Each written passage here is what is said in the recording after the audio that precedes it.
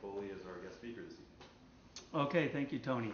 Uh, I have on the line as well, if everything is working properly, my co-author and uh, colleague from Brüel and Kjær, Chris Struck. Chris, can you say a few words to make sure we hear through the sound system? Yeah, I'm here. Hi, everybody. Okay, they say hi back. Hi, Chris. So Chris is in uh, in San Francisco right now, and ironically, after the he's going to be the only person that can truly say he attended two AES meetings, one on the East Coast and one on the West Coast in the same day. Because right after we finish up, he's heading off to the AES meeting in uh, the San Francisco chapter. But before we get into this, I just want to have Chris mention quickly a couple of uh, activities he has going on. So, Chris, you can, can you see the slide that's uh, up there now discussing your Yeah, sure. This is just a promo for a couple of events at the um, AES 129 convention, which, as you probably all know, is going to be held here in San Francisco, uh, 4 through 7 November. And I've just uh, gotten word from the planning committee um, that a tutorial that I'm given that, that I'm giving that is very related to this topic on headphone measurements. Um, that's going to be held on Thursday, the 4th of November at uh, 10 a.m. So any of you who are planning to head out to the convention, you know, if you want to make a note of that, this is going to be more on the test and measurement side, um, but it's, uh, it's tightly related to the topic Dan should be talking about. And then I'm also doing a paper on a, a, a MATLAB optimization routine for steel small parameter fitting. That's going on on Friday, uh, the 5th of November in the afternoon session. I don't have a fixed time yet, but um, AES promises me that they'll have the program up on the website uh, uh, in the next week or so. And then Chris is also having another event after the AES uh, seminar uh, series, or one-day seminar on fundamentals of electroacoustic measurement. I don't know, Chris, if you want to just say a quick word about that, and then we'll get into the presentation. Yeah, this covers a wide variety of uh, topics. If you just go to the website, there's a link to the to a flyer for this seminar right off the uh, webpage. Again, anyone planning to be in San Francisco for the AES, this is a Monday, so it's immediately after the AES. It's a one-day seminar. Um, if you're interested, you can contact me by email and get more information um, on the website. And that's an event put on by my company, and as I said, we're doing that the Monday right after AES. Thanks, Dan. Okay, thank you, Chris. So on with the topic here. There's just one thing I wanted to mention. Uh, Dave Griesinger has done a tremendous amount of work in this field of binaural recordings. So I recommend you, if you have the time and want to dig more deeply into this topic, to visit his website. A lot of great material there, and also papers in the Journal of the Audio Engineering Society from uh, Møller and Hammershøi about this topic as well with binaural recording. This particular presentation was given last year at the 36th Audio Engineering Society Conference on Automotive Audio. And Chris and I discussed this, figuring uh, what could we present without getting, or basically creating a binaural recording 101 type of presentation. So people can have, who are new to this field, an understanding of what's going on and some of the pitfalls that can occur, in particular if you're striving to get accuracy back from your binaural recordings with spatial accuracy as opposed to just making binaural recordings, let's say for entertainment purposes where you want to give people uh, the impression of spaciousness and localization without necessarily being highly accurate about that localization. This paper and presentation is some of the common areas where people can fall into some traps when they make recordings and wonder why do I hear renderings coming back that are not exact to what I recorded initially. So this paper is also on the AES library, and you can get that. Again, this was at the 36th conference, and this paper can be purchased. Uh, and if you have an e-library membership, uh, you can get that for free. So there's the link there. And afterwards, if anyone uh, wants me to put this slide back up, I'm more than happy to do so. So what are we going to talk about? Uh, real ear versus the mannequin head-related transfer functions, a review of exactly what's meant by head-related transfer function and how the differences are between people and mannequins that are out there. And with mannequins, uh, the people at uh, Danish company, was kind enough to loan me their Kemar mannequin. So after uh, the presentation, for those of you that want to hear what it's like to hear these binaural recordings, uh, not that I have any recordings, but you can hear what's live going in the room and you can also have the very interesting experience of whispering into your own ear. So that's a little bit uh, bizarre, but uh, it's something that can make some good cocktail party conversation if you're striving for something to talk about. Then I'll also talk about factors that will affect recording systems, what factors can affect the playback systems, and finally the conclusions. And Chris, please, at any point in time you want to add something, feel free uh, to do so. So real ears versus mannequin head-related transfer functions. Well, when we look at the population, of course, people are made in all different shapes and sizes, and people are quite diverse.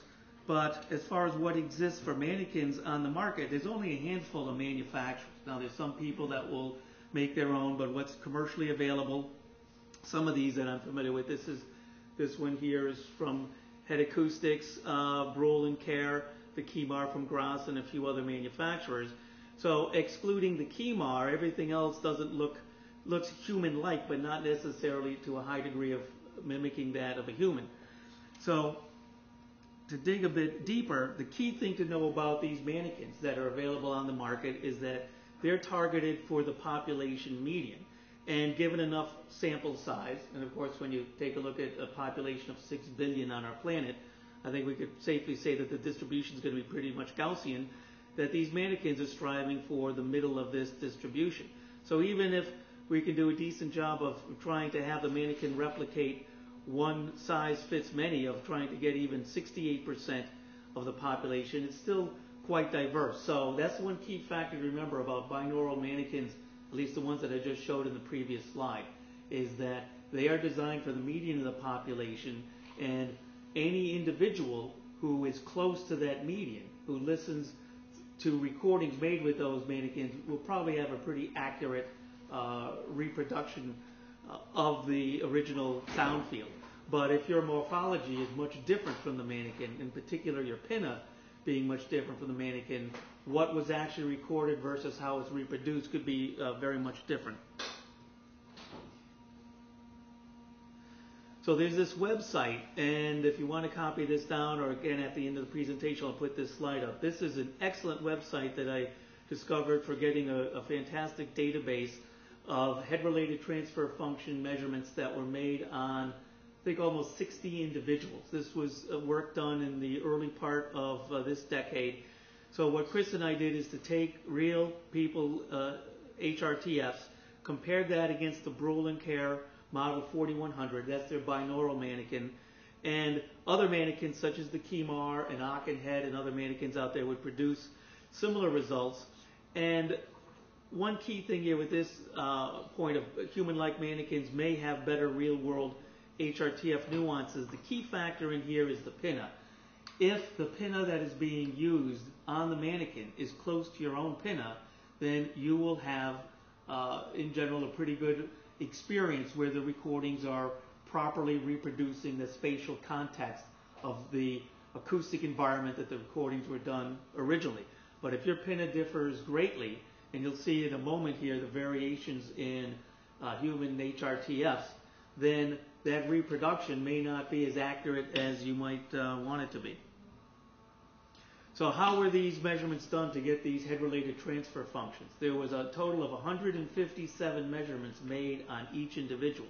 And what they did is they took the test subjects and plopped them in, in an anechoic chamber, sat them down on a chair that would rotate 360 degrees, so they would sit on this chair and be rotated around. And then there was a, uh, a tannoy uh, monitor, a studio monitor speaker, and it was also moved.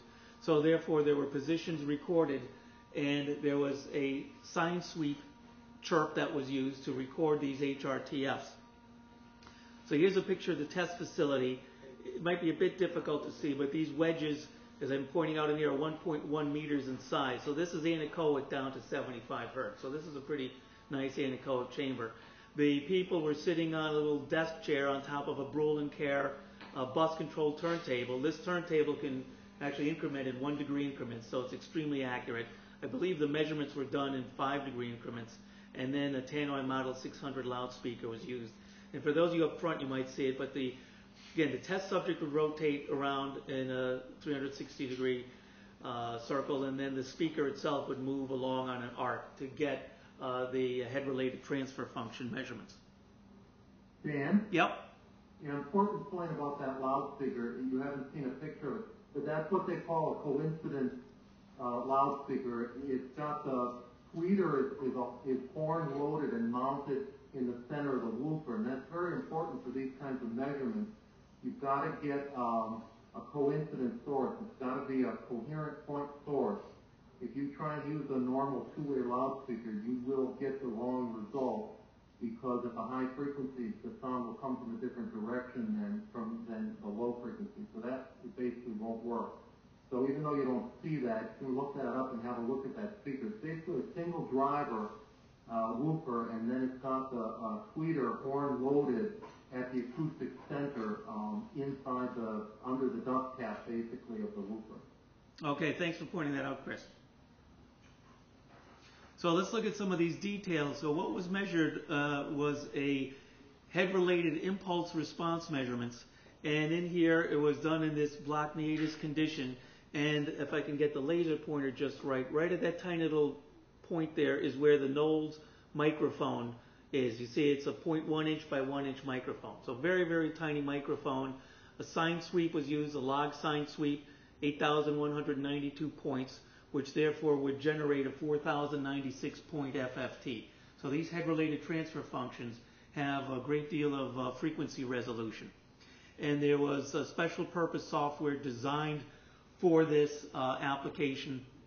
And as I mentioned, 187 head-related impulse response measurements were made per subject. So this database, all of this information is available for download. I downloaded it, let my computer run overnight one night, and it's many, many tens of megabytes. But for anyone who wants to really delve deeply into this area, this is a fantastic database because for the cost to, to, to make these measurements on 60 something test subjects was quite steep. So uh, I take my hat off to, to these people that went through this effort of doing this.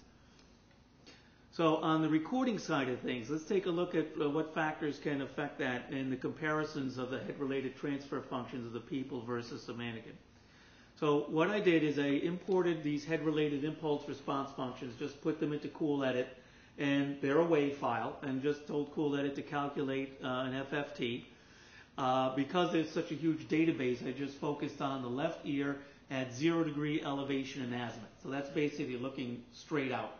And for the most cases, when we're dealing with communication situations and certainly listening to music, typically that's where our loudspeakers will be is directly in front of us. So I focused on that particular uh, position. So if we look at this trace in here, the bold white line, the bold white line is representing the zero degree elevation and azimuth head related transfer function of the Brüel and Kjær uh, binaural mannequin. And all of these lines are the 60 something test subjects.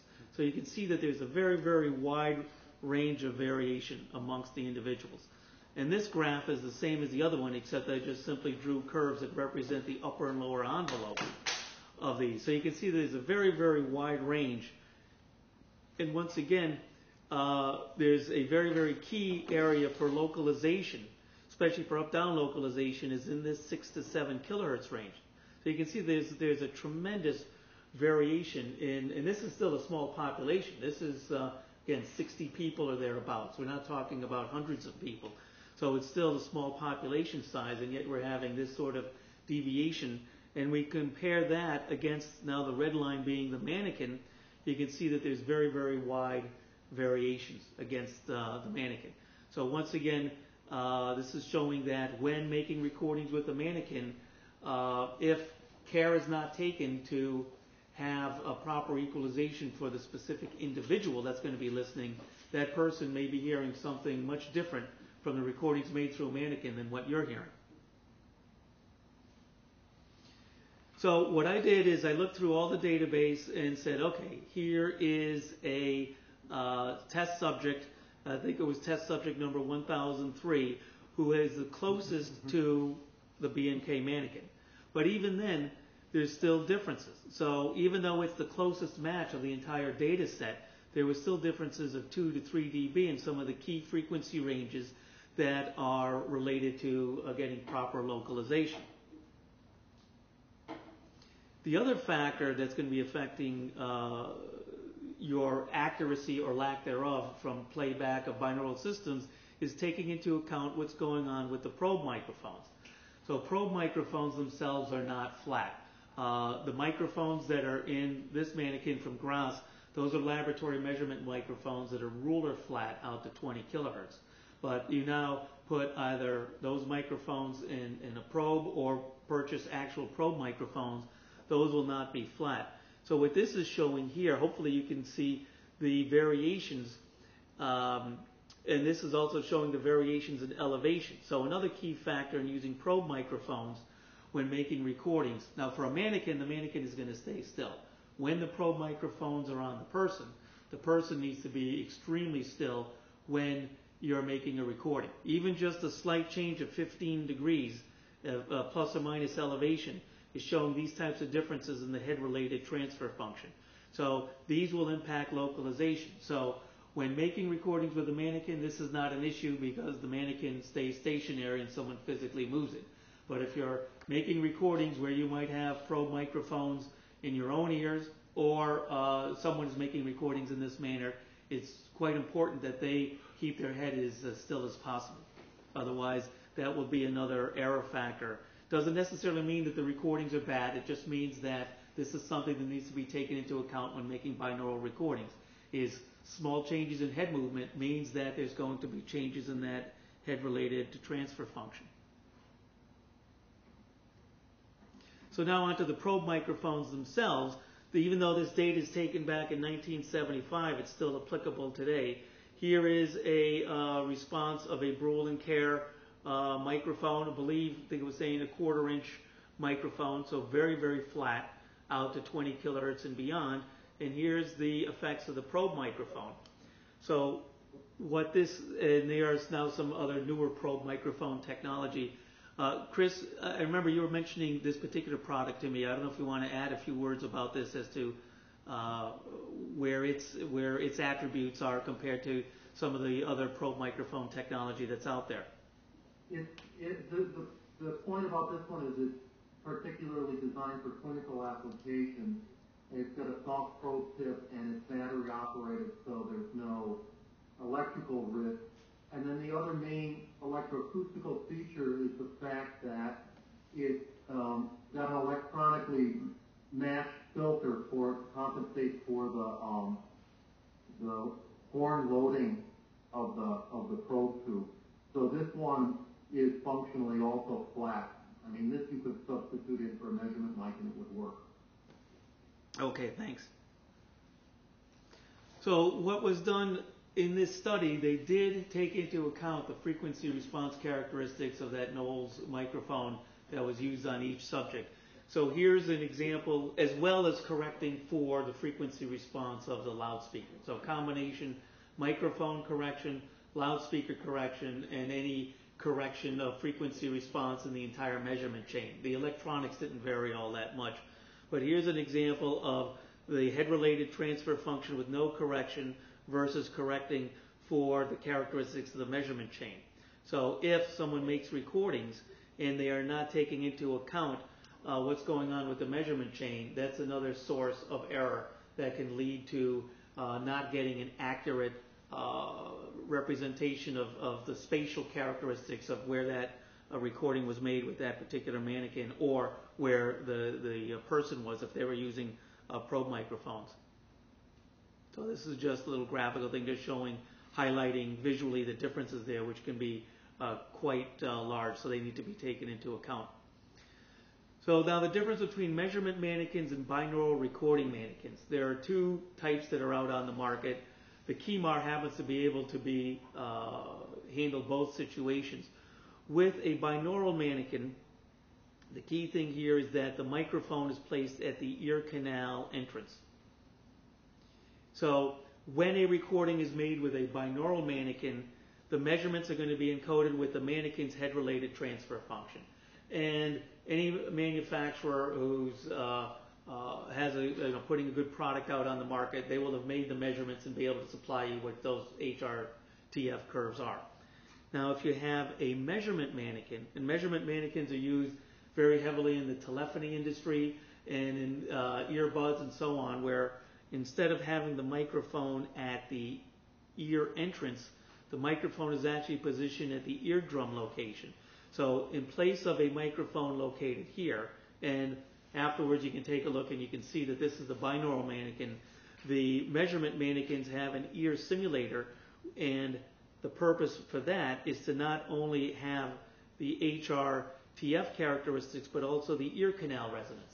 So when looking at uh, telephony products, earbuds, um, insert earphones, that those products are measured and analyzed using this sort of mannequin. And this mannequin can also be used for recording purposes, but this has to be taken into account. Yeah, the question? Well, how much, how much more variation is there when you start talking about different, the different ear canals? You know, the sizes and shapes. So you're talking about variation in people. Yeah, Yeah, Chris, the, the question was, what sort of variation, so if we have the mannequin with an IEC 711 coupler, that's a piece of machined steel, so its ear canal resonances are well known and well defined. When we start talking about humans, what's, uh, what's been your experience, Chris, with the sorts of variations you've seen with ear canal resonances? The, the ear stimulator follows pretty much the same as the mannequin. It's designed to stimulate, actually it's designed to, stimu- to stimulate the occluded impedance of an adult male ear. And um, th- there's a tiny difference between the Zwislocki and the IEC 711 in the main volume of about a, a tenth of a or a hundredth of a cc, something like that. The main volume is about 1.3 cc, something like that. But the, the, the main point is when you're testing a telephone or a hearing aid or something, when you mount that on the ear, you're occluding the ear, you're plugging it up, and you're firing a high impedance receiver of some sort into that ear stimulator.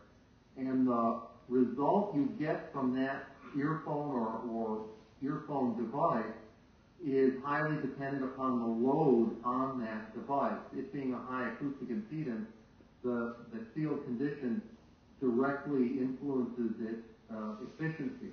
So the design of that ear stimulator is to, to stimulate the, the blocked or occluded impedance. The spec also calls for the mechanical dimensions to be correct so that it has the right depth and dimension and quarter wavelength resonance so that when the ear is open, as Dan explained, you get the right, you know, resonance and so forth. Now, that being said, we should qualify this and say that it's known and reasonably well defined. I'm talking about the measurement mannequin now, out to about 10 kilohertz.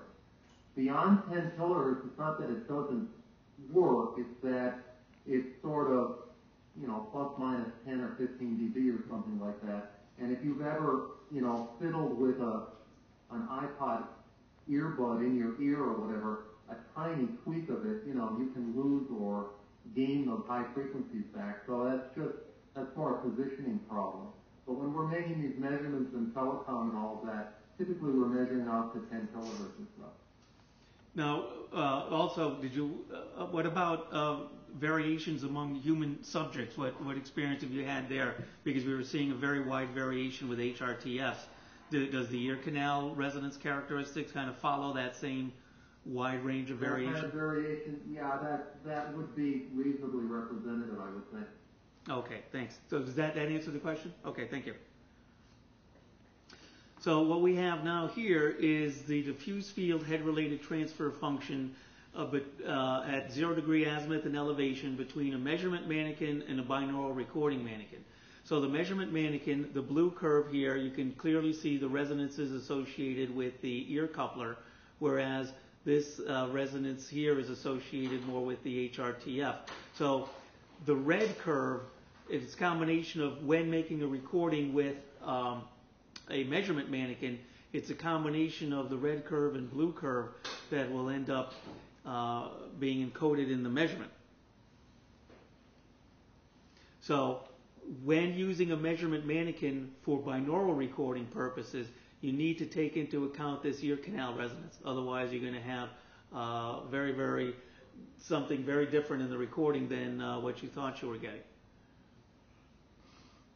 Now, on measurement mannequins, typically the sensitivity is 12 and a half millivolts per Pascal.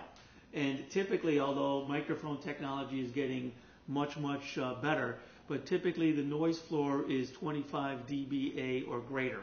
Uh, however, uh, so what that means is using a measurement mannequin for recordings, low level sounds that you want to record could be buried in the noise floor of the instrumentation, in particular the noise floor of the microphone.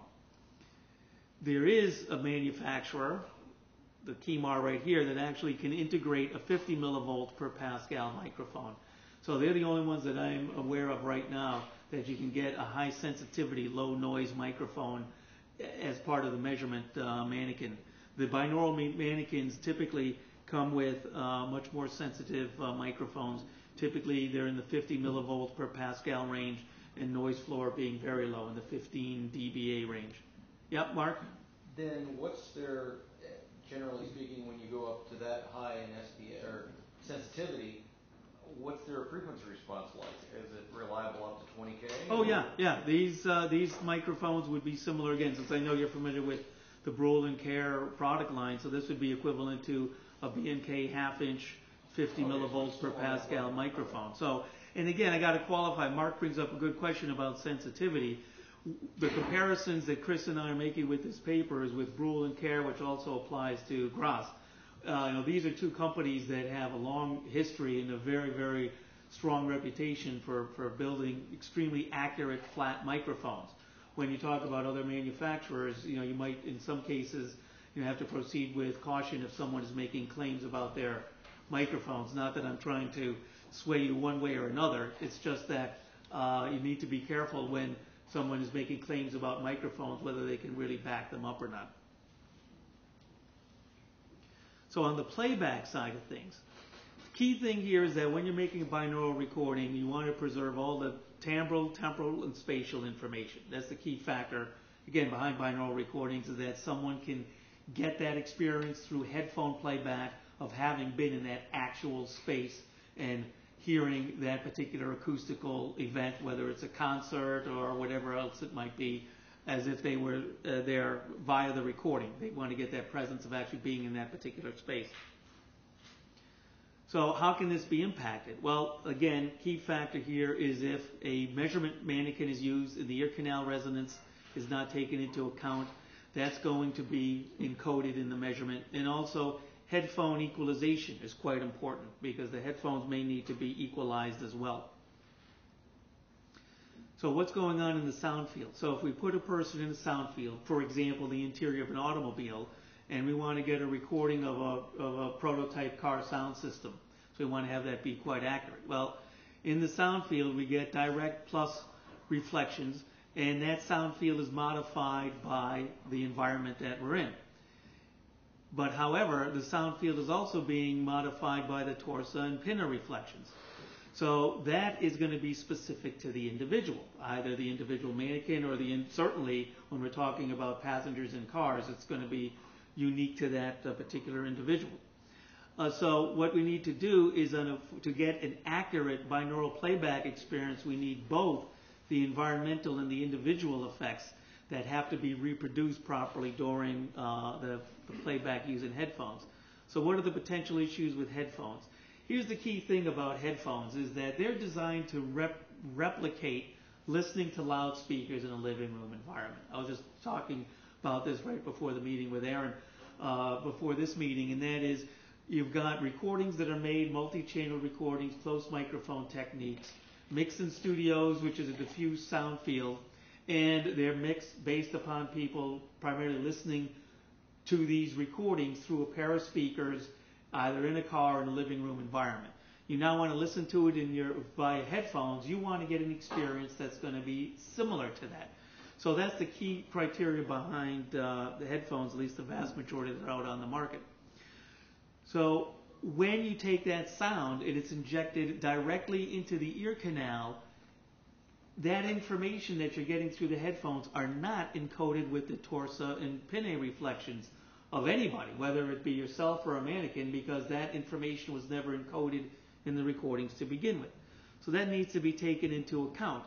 And they need to be taken into account from a diffuse field perspective to reproduce that desired listening experience. And again, getting back to headphones, headphones are equalized to have a response in a diffuse field for the median of the population. So this word pops up again in here as to how manufacturers are targeting the design of their products. Mannequins are designed for the median of the population. Ear simulators are designed for the median of the population. Headphone responses are designed for the median of the population. Well, there's only a small number of people that are going to be close to that median. So that means that for anyone else who's not in that median range that wants to get an accurate experience, all these little pieces of the puzzle need to be taken into account. So let's take a look at the signal chain. So we have a recorded signal that's going to be uh, including the head-related transfer function either of a mannequin or a person. We now have the headphones diffuse field response that it's equalized to. And the resulting recording is going, or I should say not the recording, the playback is going to have the HRTF that we do want in order to get accurate uh, uh, reproduction, but it's going to be modified by the headphones diffuse field response. And that's additive in a decibel world. So if we have a 10 dB or several dB rise, which is typically the case with a diffuse field response, we're going to be having, uh, from a timbral perspective, and also from spatial and localization aspects, something different than what was actually being recorded to begin with. So the conclusions here is that if one wants to use a binaural mannequin, and then there's going to be a listening panel listening, again, for example, let's say an automotive situation where you've got a prototype car system, you have a panel of people that are going to listen and judge the sound quality and the characteristics of that.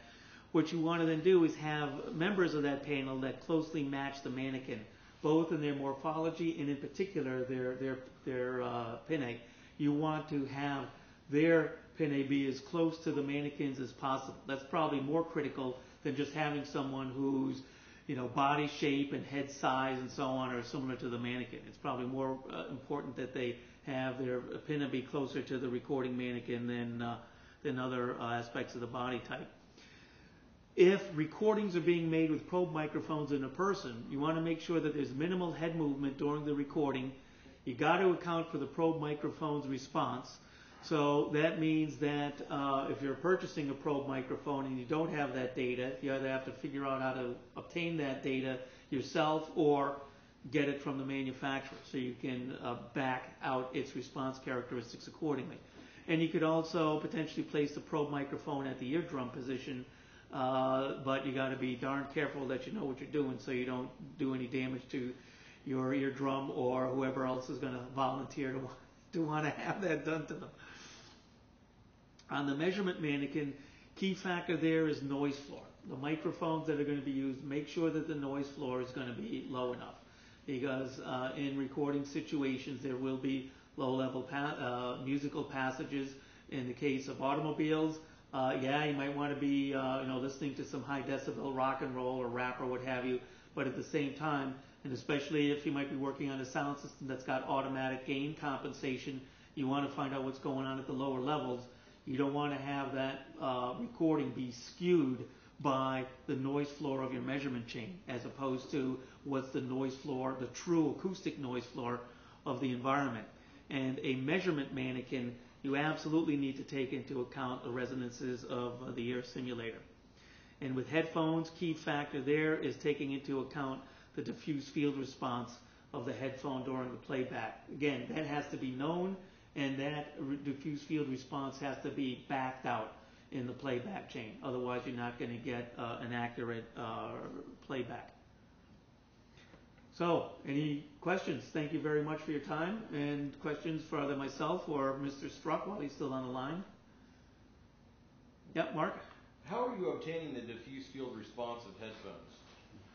Chris, I'm going to pass that one over to you. Mark uh, Daly asked the question diffuse field of, of response of headphones. How does that get obtained? There's two ways to measure that. One is to one is to take the power sum of all of those responses that you saw. You do the same measurements on the mannequin, and then you power sum all of that together, or rather power average that together. That's one way. The other way is to put the mannequin in a reverb chamber and uh, excite it with uh, pink noise, measure with a real-time analyzer, and then gather the data all at once. And if the measurement's done carefully, you should get the same result. So this is this is for the diffuse field response of the mannequin. What about for headphones? How do the headphone manufacturer go about choosing? Um, That, what- yeah, that's sort of each each manufacturer's uh, special sauce, quote unquote. Yeah. But basically, the target for a properly designed headphone, and I, I stress properly designed, is typically the um, the, the diffuse response of a, of, of a mannequin or, or of the mannequin, since they're going to target the median of the population. One of the points Dan made, there's a big difference between a binaural recording, which is very sensitive to all of these effects that he mentioned. I mean, he basically cataloged all of the ways you could drive off into the woods and make a mistake. For a normal stereo recording, much more robust, and for the typical listener who's got a pair of headphones that are even modestly correct and hit that target. And what I mean by hitting that target is, if I were to take a, a, a random pair of headphones, put them on a measurement mannequin, and measure their response, their measured response should look like the diffuse field response of the mannequin. If it does, or if it's close, then that's a proper, properly designed headphone. If you wear and listen to that headphone, listen to a stereo recording, it's going to sound proper. It'll sound right. You know, give or take a little bit of EQ to tape. And those recordings are rather robust to that. So you can target the median and just make a good design and satisfy, quite honestly, the most of the population. Now that, all of that being said, there's an awful lot of headphones out on the market that are just, you know, colloquially they're crap. And it's because, and Thank the you. most common reason is because they don't understand the fact that this is an insertion gain and that the measured response of those headphones has to, has to look like the diffuse field response. It has to incorporate that, uh, rise in it. And, and that isn't done. And you listen to them and they sound dull and there's a reason why. It's because that's missing. And in fact, that's the focus, one of the main focuses of that tutorial that I'm going to give at the AES 129. I'm going to really focus on that particular point. yeah, another question. From a consumer perspective, do you think it's because they don't understand, or it's because they don't want to invest the money and the, and the time and the engineering? Okay, so the question here, uh, Chris, if you didn't hear is uh, from a consumer perspective in terms of these are meaning consumer headphones. Yeah, I mean, you, you talk about the, the crappy uh, headphones that are out there, you know, I, I gotta believe that it's not because they don't understand the, the principles. It's they're not, will- they're not really wanting to invest the, the, the money or the, into the, into whatever it's gonna take to, to have a good headphones. Would they, cause he said they don't understand, and I'm just challenging that, I'm just thinking it's more economic. Okay, uh, Chris, did you hear the, the question or the comment? No, no, Okay, so so it was more of a, you know, with the statement you made about that the the the the, the quote unquote they, meaning the different manufacturers may not have a full understanding of of uh, you know the diffuse field responses and how to go about getting them. That is it really that they don't understand, or is it more a question of economics, especially on the consumer side of things? Of you know the the costs associated with the efforts to do this and whatever else it might translate into and costs associated with the product There's itself. no difference in, co- in development costs to do it properly. It is a, me- there's a, you know, there's a, a bit of mechanics associated with this, and, and you do need a little bit of expertise, expertise to, you, you basically got a distributed mechano-acoustical system, so you have to understand how that interacts, but there's no, um, there's no additional mechanical cost to do it properly. My experience, quite frankly, it's been keeping me in business these last, the last year or so. I've done a lot of this work consulting. But my, um, my experience is that there's a fundamental misunderstanding or lack of understanding about the insertion gain concept. The fact that the headphone response is an insertion gain. In other words, you know, people in hi-fi with loudspeakers have been trained to understand that a flat response is good. So they measure the headphone, they put it on the mannequin or the ear and they measure it, and if it's flat, it's good, and they're done. But that's not the whole story. The point, as as Dan explained, is that they're trying you're trying to reproduce this um, the, the loudspeaker response in an ordinary room. So I, I use the following thought experiment or story. What's the perfect headphone or what's the perfect headphone response? So if you're sitting in your living room and you're listening to your hi-fi and you happen to have the perfect hi-fi or it's been equalized to have a more or less perfect response and you're listening to whatever content you prefer to listen to and someone sneaks up behind you and flips a pair of headphones on and you can't tell the difference, that's a perfect headphone, basically. And that that's the insertion gain concept in a nutshell. Basically, that headphone has to have the entire signal chain right up to the ear designed into it. Because otherwise, as soon as they flip that headphone on you, you're going to hear the difference. I can't explain it any shorter than that, especially without any visuals, but that's the story. I, that's the way I usually explain it. Yeah, a, a, a question, then we'll go to Bob. Yeah, Aaron? Uh, very practically, which headphones would you say, if you wanted to impress people with binaural recordings, what would you recommend? Okay, question is, what would, to impress someone with binaural recordings, what headphones would be recommended?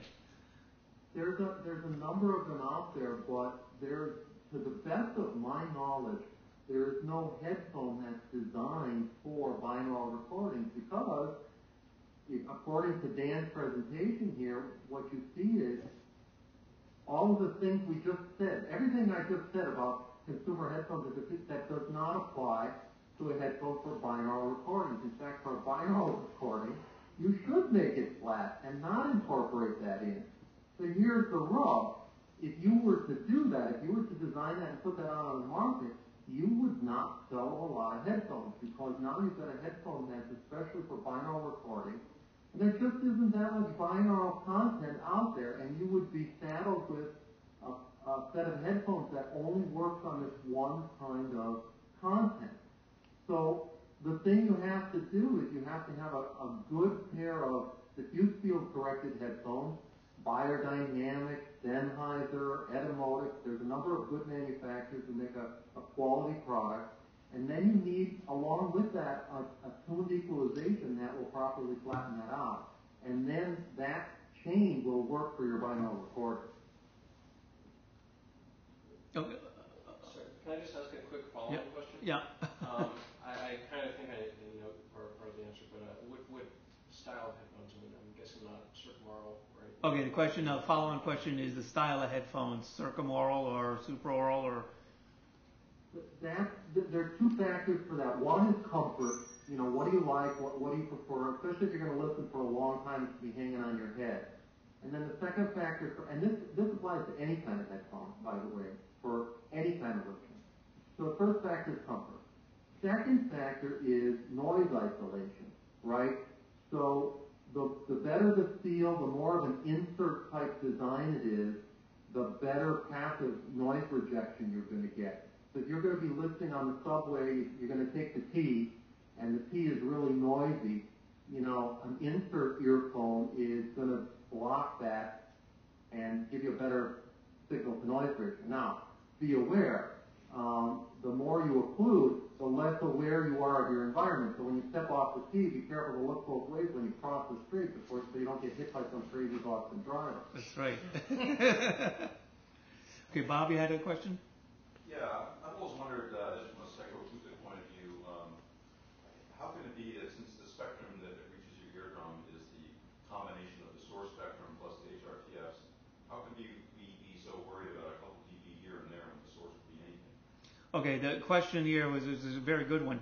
Given that what we get at our eardrum is a combination of the source spectrum coupled with the HRTF, and the source spectrum could be anything, how is it that just a couple dB variation in HRTF uh, can have such an impact? So I guess an example, Bob, would be like what I was presenting of, here's the Kemar mannequin, recordings are made of some source spectrum, and now you put the headphones on, and uh, why is why is it? Uh, let's say that if I have a real source out in the room and I just happen to dial in sort of uh, the inverse of my HRTF just by accident. Whatever I was listening to happened to be, you know, the source doesn't suddenly collapse inside my head. I still perceive it as being out there. Okay, so so that's the question. There is well, how can such a, so basically you're asking this difference of just a few dB the, uh, uh variation in the HRTF. Yeah, related question. Why is the why is the front you know, frontal right, so, so how does the what's the mechanics of a localization or how does that work? Yeah, Yes, Okay, so, a couple of issues here.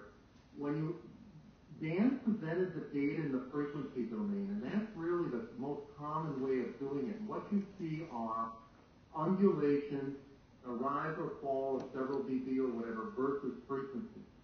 But those HRTF, you have to think of those as complex. They are actually impulse responses, and they're not um, solely in the frequency domain as the result of some, um, I don't know, like a graphic EQ or something like that. It's not a frequency domain. What you're seeing actually is the effect of a time domain phenomenon, okay? And the time domain phenomenon, the impulse response itself, is basically at, at low frequencies, it's a phase difference as the, as the sound passes over your head, which is why at low frequencies there's not much localization. Um, and I'm talking about two-ear listening. As you get up into the mid frequencies, your two-ear system is, is like a like a, an intensity probe, and it's grabbing two space samples, you know, in time, and you can perceive time differences. As you get into higher frequencies, the head actually is larger than the wavelength of sound, and it is actually blocking the sound. And between the two ears, you can perceive a level difference because of the blocking action of the head. And if you don't perceive any level difference or time difference, then you're then the, the sound must either be directly in front of you or directly behind you or directly above your head. I'll get back to that later because that's kind of important. So what about all these little undulations and so forth? Well, if you really microscopically looked at that impulse response, what you'd be seeing are the little reflections off of the concha, which is the bowl in the pinna, and the and the and the other features of the pinna. The pinna is kind of kind of complicated. And what happens is you grow up and your, your ear gets larger and you experience sound, your brain learns all of those pinna cues. Okay? So you have a learned, you've learned your own cues. So if there's a sound, let's say up about 45 degrees and off to the right, that's a particular impulse response, and your brain has learned that, and that's how you localize the sound. There's a there's a series of experiments, and I'm sorry I can't quote the reference, where they took putty and they puttied up basically all the features in the pinna, and no one could localize anything. They, they this is kind of cruel, but they did it with bats as well. You know how bats use sonar to uh, work their way through the cave and not hit the wall, and they they they put putty on these poor bats' ears, and they were just crashing into the walls. I mean, it was just pathetic. You know, they couldn't localize anything. And as soon as they took the putty off, then they flew. I mean, it was just fine again. You know. So basically, it's a learned thing. It's a connection between your brain and the shape of your pinna. So if the shape of your pinna changes or whatever, you basically have to relearn those cues. It's a learned response. any more questions?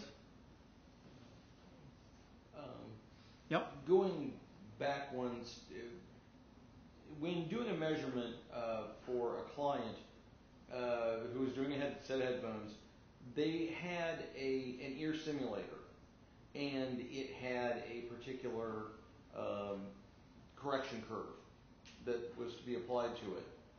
Um, do you consider that type of ear simulator with a you know, an assumed correction curve to be as accurate for doing headphone measurements for basically developing a set of headphones? Do you consider that as accurate as uh, using a head and torso simulator? So the question here, Chris, and I, I can take a first stab at it. I think a key factor, the, the question, Chris, was uh, making uh, uh, measurements for headphone development purposes. And now, Mark, are these he- headphones, are they circumaural, supra-aural? I mean, how much are they covering? These were all these were all circumaural. Circumaural. Uh, and actually, they had they actually had me measure several competitors' headphones. So you were using, so your measurement system was not a head and torso simulator, but was just an ear, just a, a plain old ear simulator. ear simulator, flat plate, uh, half inch microphone. Uh, Did, did it have a, uh, was there a pinna, or was it just like one of the old, so what, Just like an old B and K. oh, so just like an old B and K, uh, ear, the, the old style ear simulators? Yeah, I forget what the model number is. Like a forty-one, forty-five or something? Forty- yeah, Mark and I used to deal with Brüel and Kjær, so excuse Forty- our throwing, bantering about model numbers bunch of of obsolete numbers. equipment. It's, it's a plate with a with a, a cone that sticks Yeah, up and yeah. a microphone in it. Yeah, so, so, so the question here, again, Chris, you'll, you'll understand the model numbers here, but basically Mark is asking the question, differences with a circumaural microphone of using like the equivalent of the old B&K 4145 uh, uh, ear, old style ear simulator versus using a head and torso simulator. Um, the, the main issue is the reference point. The, the ear simulator and the mannequin, you get the data at the eardrum. If you use the, in B&K nomenclature 4153, uh, the standard is IEC 318, and now it's changed to IEC 318-2 or something like that. The, the old 318 simulator, the reference there is um, ear ERP, ear ERP. reference point, and on a on a real person at the bottom of the concha. Okay, so just just about the ear entrance point. Okay, so you're measuring at a different reference point. So you got to keep that in mind. And the, the other one, the 4152, that's just a 6 cc volume, and that actually has no reference point at all. It's just a 6 cc load on the on the device. And the only thing that you can use that for really is QC. It's not useful for development at all. The IEC 318, the B&K 4153, I, the GRAS, I forget the GRAS number on that. They all make one. Um, the real application for those ears is um, calibration of audiometric earphones for doing hearing testing, and they're still written in the standards for that. It's not it's not really um, appropriate for any sort of development work. The nice thing about the 711 simulator and the mannequin using the ear drum as the reference point, very robust, very stable, very well known. If you want to apply these corrections and back it out to a ear reference point, it works well and you can be pretty sure about the data. So that's, that's really the way to go. And, and everyone I know who's doing that kind of work does it with a, with a IEC 711 ear simulator. Now, GRAS makes this thing called an ear and cheek simulator. It's basically a, you know, a flat uh, uh, plate. It's got one pinna on it, and then behind that you can put the ear simulator. That would also work, especially for a circumaural. But you would want to, I think you would want to have the pinna because it affects the loading of the device and, and also, you know, the positioning and so forth. So I think that that would kind of also be important. Does that answer the question? Oh, sure does. No, no, Chris, I just want to add to that. Uh, that's what we'll in a second.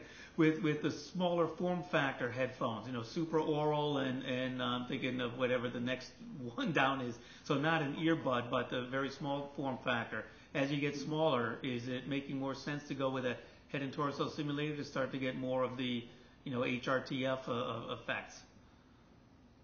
Well, yes and no. I mean, the, the biggest problem with some of those is you need something to hang the device on. You need some sort of a fixture, and, and there's nothing better than a mannequin, just practically speaking. Um, if you can manage it, you know, that ear and cheek, you could actually do the most of it with the ear and cheek simulator. But one thing you have to make a, um, a distinction between is the development measurements, which we're talking about now, and that's fine, and the QC measurements. The QC measurement can be done with a simpler coupler, but at that point, what you really need is some sort of a test jig. You really need a clever jig that um, ensures uh, uh, that mechanically the person who's running the test gets positioned the same way every single time. And the mannequin will not do that for you. In fact, you know, if you try and do that, there was a paper at AS, it's very frustrating, but it's also very realistic. If you try and put it on your own ear the same way twice, it's actually kind of tough to do. So the mannequin is actually giving you a, um, a realistic view of what uh, the typical positioning errors are, and it's uh, when you actually do the measurements, it's actually scary how much variation it is. It's not it's not dissimilar to the data Dan showed you between people, just on the same person repositioning uh, an earbud or something several times, you can get almost those same kinds of errors. But on the other hand, that that's the deal. That's real, you know. I was, yeah, I was finding plus and minus six dB swings above one K due to placement. So Mark was saying he's finding uh, plus or minus six dB swings just due to uh, placement. So, and that's that's the sort of thing that I've seen as well in my own experience. De- Dennis, you had a question? So I, I want to back up and get real basic. If you go back and show the head, re, head, head related transfer, The the one with all the the slide with all the uh, yeah, pick probably the one, yeah, that one there. So if we look at that, so I just want to make sure I understand. So if you if you um, had uh, a room and a speaker and you had just your B and K ruler flat mic and you equalize the system so it has flat frequency response to a pressure, Mhm. uh, and I assume you want random incidence. You then put either somebody's head and and put the you know microphone in in their ear canal or you put your your uh, your uh, mannequin on in in that exact location, you get that frequency response because of the effects of the pinna and the head and the torso. correct. And what Mark's saying is, in order to reproduce the that uh, flat sound that you hear in the free field with headphones, you actually need to equalize the, the headphones to create that head response transfer function that people really, that's what they're hearing cascaded with that ruler flat response when they listen. So when you put the headphones on, you have to put that transfer function in there, or they they hear the they hear that sort of like cascaded out because it's God when they put the, uh, the if they have flat headphones they put that on and now they're hear, they're hearing that flat sound cor- corrected by the info, in, inverse of the head response head related transfer function that was cascaded with the flat response when Yes. they were listening. Interesting. But I think the, the theory says if you nail that curve exactly, that the image will pop out of your head and appear like it's in front of you. But I think tests have shown that you have to add some reverb, some spatial reverb, or it doesn't pop out of your head. That's most of the papers say that, and you need some Okay. reverb or it won't pop. Yeah, the so con- you can get it spa- so the equalization gets the s- gets the spectrum correct, but it still doesn't I- restore the think if you, spatial perception. the spectrum perfectly, without any error at all, I mean, it's like, in, in an anechoic chamber, it's actually hard to get out of head localization because there's no reverb at all. Even if you have a speaker in front of you, it doesn't really sound like it's out of your head. So if you have a, a, a headphone with perfect EQ for the front position, it has that same problem, right? So it, it takes a few reflections coming from other angles for your brain to, to, you know, realize that it's not in your head anymore. That's my opinion, anyway. Okay, yeah, another question? Yep. Um, while we're on this slide, how much uh, variability is there in a single person? If you were to repeat this test a couple of times on the same person, how much agreement will there be one result to the next? So the question here, Chris, is the repeatability of making. You're talking about making the measurement of the head-related Transfer, Transfer function. For, for a single person. for a single person, the repeatability of that. Well, a key factor is going to be how much has this person been moving. You saw the slide that I showed, and I can bring it up again, the one where it was just the same person with a plus or minus 15 degree change, which is not uh, much of a change at all. Experience you've, you've had with the sort of repeatability in making the measurements in an, in, in, in an anechoic chamber. Exactly what you said. Movement is the biggest problem. I've seen people done this. They make jigs and pointers and things to like to keep the middle line. Got to be careful with that too, because if it's a big obstruction, it's going to change the, the size and shape of the head, and then you won't get the right response. So it's it's very tricky on real people. I think it's I think it's probably the reason they use the fast sine sweep because they can. I mean, the sine sweep is done in about a second, and they can grab it before the person moves or smears the data. But still, they got to sit through a lot of. Um, it's very tedious, so it's it's tough. I mean, that you showed that slide with the block meatus. Part, of that, um, the way that's blocked, is to keep the probe tip from moving. So it helps that, but it doesn't it doesn't do anything if somebody really moves their head or, you know, that sort of thing. That, it's really tricky. Almost like you have to fixture the person. Yeah, Mark, Mark Dale was just commenting, it's uh, basically you got a fixture, so you have to fixture the probe mic and then also fixture the person as well. And the fixture can't disturb the, the measurement very much. Yeah, there was, Aaron, one more question? Yeah, uh, I'm kind of curious on the website that these uh, impulse responses came from. Yep, You can uh, actually try the impulses, uh, impulse responses out in a sense where the sound goes around your head, and you can kind of find the one that best fits. Uh, in a way. Yeah, that is correct. Uh, Aaron's bringing up a good point, and, and Chris, you may not even be aware of this, but on this website, they have a really slick little uh, um, demonstration they have for each test subject. They have the head-related impulse transfer functions where that has been modified a pulsating noise like and it goes around your head. And they have a little circle just like a clock face where you see the, the needle going around. And you put a pair of headphones on.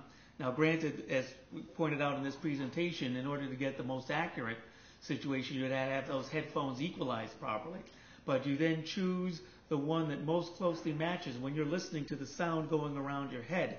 You're basically looking for that test subject that's going to be closest to yourself. And once you've done that, now you've got, and especially if it lines up very much so, like 12 o'clock, I hear it in front of me. At 6 o'clock, it's directly behind me. At you know 3 o'clock, it's right off to the right side. 9 o'clock is directly off to the left side, and everything in between. If you do have that close of a match, now you basically have all the information about your own uh, HRTF because you've closely matched with that uh, with that particular test subject. Yeah, so. I did um, see that, it's very cool. One Yeah. other comment on one of the earlier questions about what kind of headphone. Another important aspect of the headphone use, it should have a very smooth re- response, because that'll make it easier to equalize, and if you aren't able to equalize it, it'll make it more, um, insensitive. I mean, you'd probably be able to use it and still get the most of this, these effects. You still, you, you could listen to that website and still hear it and it would, kind of be okay. But I, I would think the, another important factor for the headphone to use is they should have a very smooth response. Uh, Dan, I got, I got a question that nobody asked, so let, let me ask the question. Sure. The question that might be interesting to people is, so what happens if you, if you miss or if you make a mistake? How does it sound? I mean, what, what happens when it goes wrong? And the, the answer to that is the most common thing is that, you know, the, the head used to do the recordings is either too small, smaller or larger than your head and your antenna and so forth. So you've got a, a kind of a size mismatch, if, if you will. And the most commonly reported effect is what's called a front back confusion, where you should localize something more or less right in front. I mean, 90 degrees either way most people get almost no matter what. You can hear through that even with a horrible match, and you'll still get that. But straight ahead, what'll happen is you close your eyes and listen to it, it sounds like it's above your head. The same thing for behind you. You can't really tell the difference between front and back. And as you as the sound moves from plus minus 90 degrees to the front, instead of staying in the median plane and being at the same level, and moving to the front, what happens is it starts moving up, up, up, up until you hear it above your head. So that's typically a mis, the, the most common mislocalization is this front back confusion. There are others too, but that's, that's typically what happens. So if you are trying this the way that Dan just described, or you're going to do some experiments, that's the thing to listen for. If you hear it above your head, probably not a good match. Yeah, oh, I'll just have Bob, yeah? Out of all the things that are out there on the web, uh, is there one subject who's kind of the best average of everybody? You had to Yourself. Yeah, the question was, with everything that's out on the web, is there like the golden reference person out there? I guess the, the answer is, well, you've got, you know, the mannequins are designed to the median. I happen to find in that population of 57 or 60 whatever test subjects from this website, I found that one person that still had a couple of dB variation. So, uh, You know, I think, I think, I think a different view, having looked at the stuff that's breathing, is that the golden reference is you. You Yeah, are the that's golden true. reference. In other words, you can't do better than if you were to go out and put a, put a probe microphone or picture in your ear and make a recording, and then you play it back and listen to it yourself. You're never, you're never gonna get a better match than that. That's, that's the reference, that's the golden reference. If Now, the a problem with that is, of course, you've got a custom recording that is not gonna be that good for anyone else, but that's sort of the, um, state of the art and the problem, the problem that keeps binaural recording from, from expanding and being more widely distributed. And there's a lot of work and a lot of research in this area to find, you know, ways to simplify the recording process, simplify the playback, and have you know, most people get most of the effect, if you will. There's different kinds of post processing that's applied and, and, and so forth, but the golden reference is basically you, and the, and the people I know who are doing research, that's what they're doing, they're making the recordings themselves using their ears, and then playing them back themselves, and of course, not surprisingly, if they're careful about all the stuff that Dan mentioned in the whole presentation, they get pretty good results. So from a commercial perspective though, is, is it still pretty much the best thing to do if you're a manufacturer of uh, products, headphones or playback systems or whatever, that you still shoot for the median? Is that your feeling? You have to shoot for the median because you, because if you shoot for the mean or average, you actually end up smoothing over all the uh, important features in those responses, and then you, you actually get no success at all. So so the, you have to you have to pick an actual response, and the median is you know if you're a betting man, that's you know, half of them are above you and half of them are below. And as Dan said, if the population is really big, and really diverse, the mean and the median are going to start to converge a little bit anyway. But you need a median response, not an averaged out, uh, smoothed out response, because you'll lose those features. So yeah, a that's, particular management right now, that's what people are looking at. Okay, so then the following question is from a mannequin standpoint, is there a mannequin that's any better than uh, anyone else's for that? The, the difference is, that, I mean, if you're asking my opinion, I can render an opinion here. I, I don't, rec- I mean, I don't endorse anybody or anything, but I think the, the, the app is just like the headphones. You know, is it easy to use? Does it have a low, uh, low noise floor? Noise makes recording head. I've used that. Um, I got a recording when I was with a Drunken Hill, the cable top passing by. It's kind of slick. I hear most of the effects. It's, you know, it's not too bad. Um, so is it convenient? Is it, you know, is it low enough noise? Can you use it? I, I would think any of the measurement mannequins would be bulky, too high noise, just like you said, or you've got to take them apart and pull the ear simulator out and all that, you know, that's just kind of cumbersome. So, I don't know, I think those would be kind of your, your main factors. And then, your own diligence to worry about all that stuff in the chain that Dan pointed out, how you render the playback and ensure the, the equalization is done properly, that you have the uh, headphones. One advantage of having a mannequin that was convertible and could do both the measurement and the recording is you could put the ear simulator pack in it and use it to measure the headphones you were using, and you would know what you had equalized. So I don't know, I could see that as being advantageous if you're gonna go through the whole process. That's my best thinking. Um, I, I was kind of inspired hearing those recordings of the various responses. Um, I mean, doing these tests is really expensive, but if you could have an algorithm to find the best match for your own ear, that would be pretty cool. And I don't know if there's research currently going on that's doing that. Don't know if anybody else knows. But I guess that's uh, the kind of question I had originally when mentioning uh, those. What, so are there any algorithms to what's going to do a search through all the databases? Yeah, well, I- if you look at those 50 so examples, and if you say map those to the physical layout of all those component ears that were tested, you could probably pretty quickly find one that matched your ear. You know, right. Of course, like the head size is a different, uh, different problem, but I think you would, if you wanted to do this commercially and people actually cared to some degree, um, it seems like uh, if you were able to kind of fit a shoe, you know, not all shoes fit perfectly, but you get pretty close. Mm-hmm.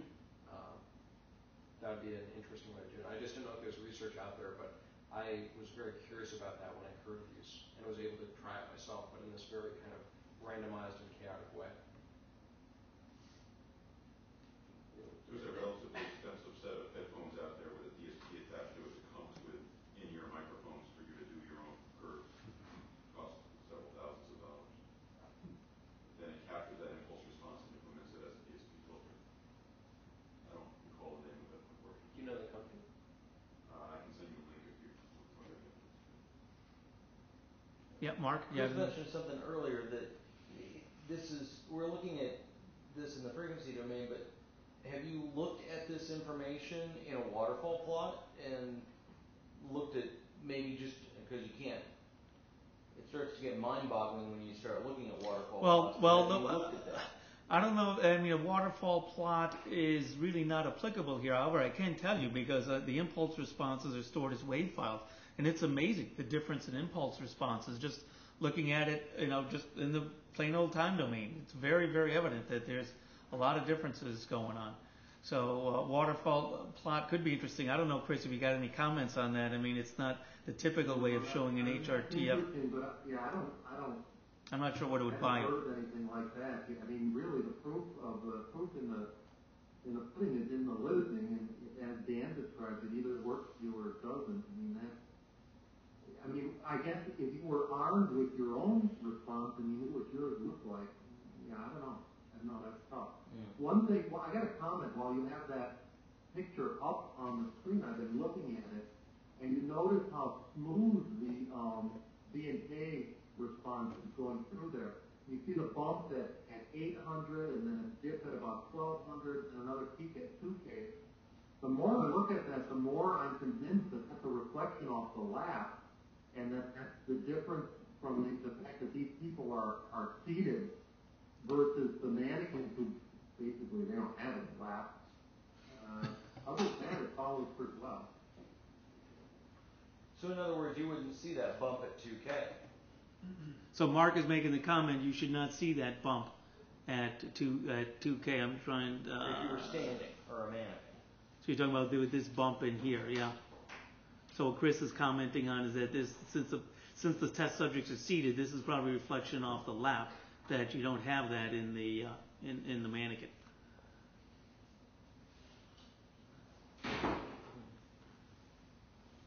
Okay, anything else? Because I know our colleague or Mr. Chris needs to head out to the AES, the other AES meeting, the one on the West Coast. Okay, well, thank you very much. And uh, they have a setup in here if you want to listen to uh, just what the room is and do some of your own experimentation. It's pretty interesting to put the headphones on and listen to whether or not you can localize someone behind you or uh, off to the side. So thank you very much for your time, and I'll certainly take more questions afterwards. And Chris, thank you very much for uh, being able to be available for this. Okay, thanks, thanks everybody. I hope to see some of you in San Francisco. Bye now. Okay, thanks. Bye.